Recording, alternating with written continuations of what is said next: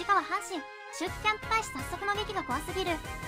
阪神藤川球児新監督44が10月31日高知県安芸市での秋季キャンプ1日から17日に参加する佐藤明ら総勢39選手に火の玉流の猛撃を飛ばした。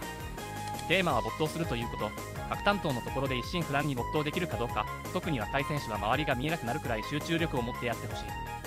気の遠くなるような練習は実は成功した皆がやってきたことそれができれば本当に強くなるなどスパルタの方針で臨むことを通告さらに取り組みが非常に大事になるので例えばうまく取り組めないような選手は甲子園で残留組を指揮する平谷軍監督もいつでも返してくれというところがある気持ちがない選手には何とかしろまで勇気はない。プロである以上はそう。と断言した。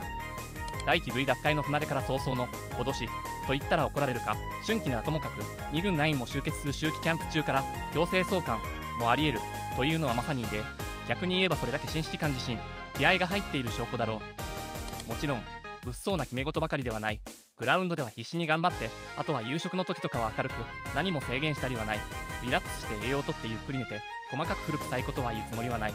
トーンとオフのメリハリを重視。プロは個人事業主でもあるだけに練習以外の時間はほったらかしだ。岡田前監督は選手とはあえて距離を取る方針だったが藤川新監督は宿舎での個人指導や助言等も全然大丈夫と歓迎している。得意の火の玉節手飴と鞭を使い分け実りの秋となるか注目だ。新生タイガースは活気と熱気に満ち溢れてますね。今から来季が楽しみ。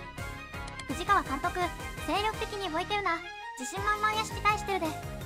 簡単なことではないけど優勝という言葉を前面に押し出していけるのは頼もしい。あれあもう使わないんですね。笑い。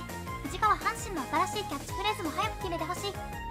中野はもともとかなり能力高いし今年は取り組み方を間違えただけだし合い聞きたいウエスタン。リーグ C 打者の井上や星野中川を新監督が来年どういう使い方をしてくれるのか気になるし。楽しみ。ご視聴ありがとうございました。高評価チャンネル登録よろしくお願いします。